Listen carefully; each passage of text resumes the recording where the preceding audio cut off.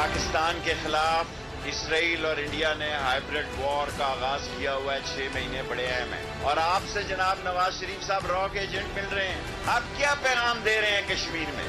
मोदी से तो आप पगड़ियाँ बदलते हैं, आप कश्मीरी। आप कहाँ से कश्मीरी हैं जाती उम्र कश्मीर में, मैं कश्मीरी हूँ। इलेक्शन के बाद तरीके इंसाफ की फतह का ऐलान करूँगा। कल शाम सात बजे लाल अवेदी के, की बालकोनी से पीटीआई के चाहे एक वोट की अक्सरियत बनाए, पीटीआई गवर्नमेंट बनाएगी, और फिर आप इनका रोना पीटना सुने। मरियम नवाज़ की सियासत को उसकी जबान तबाह कर देगी नवाज़ शरीफ साहब, वहाँ से रोना पीटना डाल रहे हैं आज कि मैं बड़ी तकलीफ़ में हूँ। सुबह ऐलान करें, शाम को चार्टर प्लेन भेजता हूँ, आए आप वापस। पूरी सिक्योरिटी दूँगा।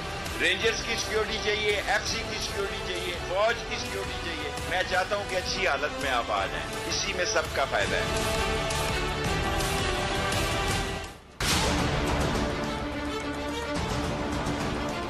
आज़ाद कश्मीर के इलेक्शंस आम तौर पे फ्री और फेयर इलेक्शंस नहीं कहा जा सकते।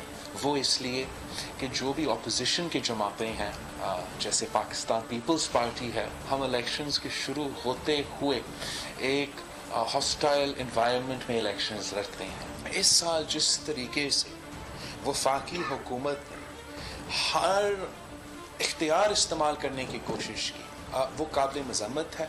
हम समझते हैं कि आज़ाद कश्मीर ऐसा स्ट्रेटिजिक लोकेशन है जहाँ किसी को ये मौका ही नहीं मिलना चाहिए कि वो धांधली का इल्ज़ाम उठा सके।